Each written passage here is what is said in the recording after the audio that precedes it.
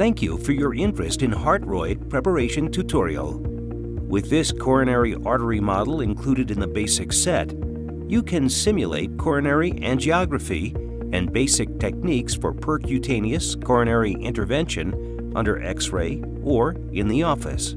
The entire contents of the basic set can be stored within the optional trunk. First, prepare the pump and tank and connect them with each other with two hoses.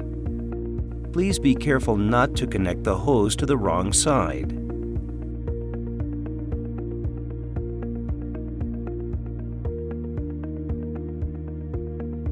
Next, attach the tubes with sheath to the tank. Please fix the tubes with sheath firmly to avoid water leakage.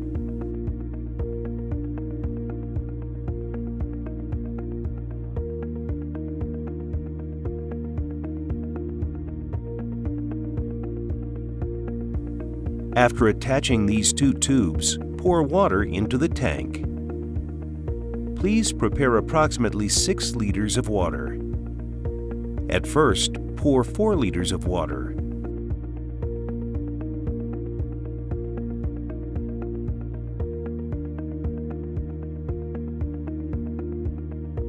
Then, open all of the hose valves.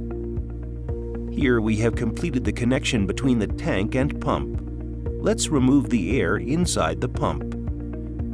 Connect the power cable and press the Start-Stop button to turn on the pump.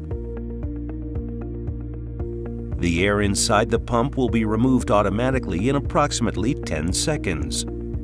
Turn off the pump to connect the heart model. Next, connect the heart model to the tank ports.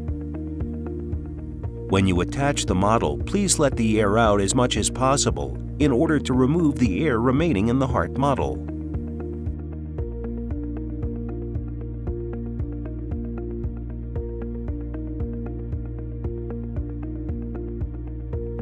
Pour the rest of the water up to the top of the heart model. Finally, preparations will be over if you adjust the heart rate. It's time to start training.